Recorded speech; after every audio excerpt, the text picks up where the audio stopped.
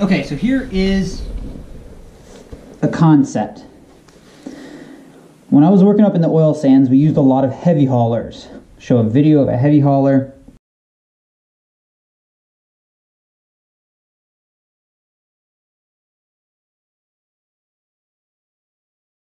An interesting thing about a heavy hauler, it doesn't have a tailgate.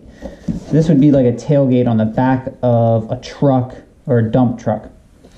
The issues with having a tailgate in this game is it sounds like we can't go past our dimensions. So having a tailgate would make us go past our dimensions.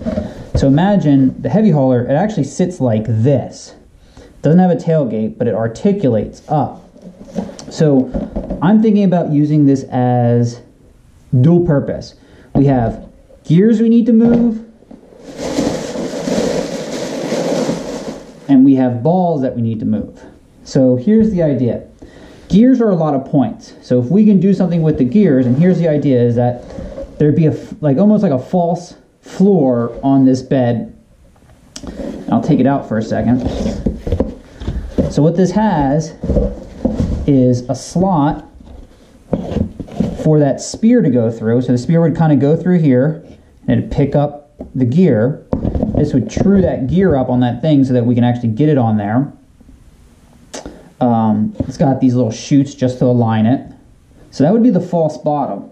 And the false bottom could work in a couple different ways. We could have the false bottom have some kind of articulating mechanism. So then when it gets up to that spear, it'd go like this, get onto the spear, and we've loaded a gear.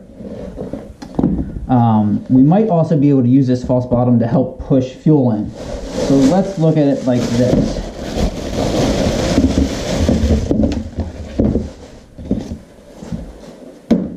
So this is six balls easily in the back of this. So that would be the, the dump. And then you get up to the low boiler and then just, so that's one idea. All right. So now the other thing is the rope climb. And so far, if we're allowed to use a webbing, we would put hook and loop onto like almost like a a winch on the front of a Jeep. So this would be run by one motor. And then this would just be on the back of the vehicle. And we would just spin this. And it would grab that webbing and bring the robot up. I'll show a video of another team that has been testing out this idea.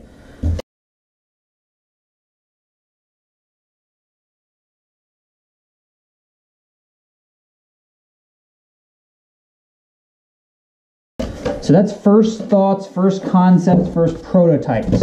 Um, encourage the teams.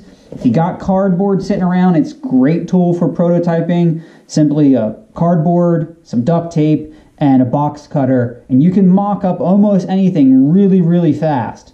So I encourage everybody to kind of flush out maybe ideas that they have in their mind and see if it'll work.